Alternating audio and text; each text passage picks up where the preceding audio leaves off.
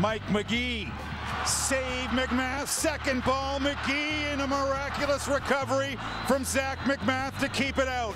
Patrick, first take us back to the game against Philadelphia. Obviously, a disappointing way not to get three points, but still show another fight back to, to get a draw.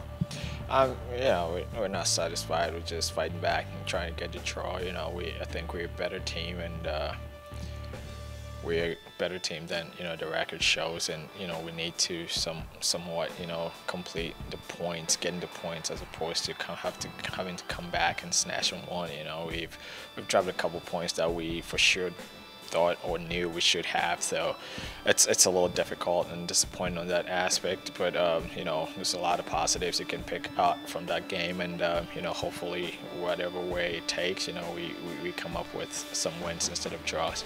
Greg, uh, your uh, trade right at the beginning of the season didn't get into the first few games, but you've seized the opportunity of uh, Gonzalo injury and I think improved every game. How, talk about your performance thus far. Yeah, I mean, obviously, every time you get the chance, you got to be ready. Um, even when I wasn't playing, uh, you always got to prepare like you are ready. So when the chance does come, you know, you got to you got to take it and, and you got to run with it. So um, I just try to improve every day, uh, get better each game and stuff like that. So, you know, with more time with the team, I finally, you know, I feel real comfortable with the team finally now.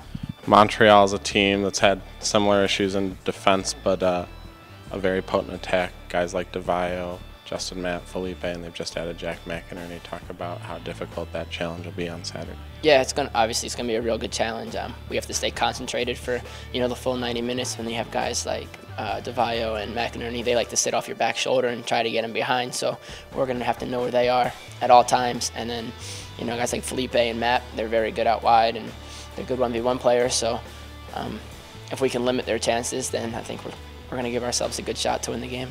Finally, talk about facing Frank Klopas. He's someone that you were started your rookie here, rookie year here uh, as technical director and was your coach. Uh, obviously, a bond there, but you're on opposite sides on Saturday.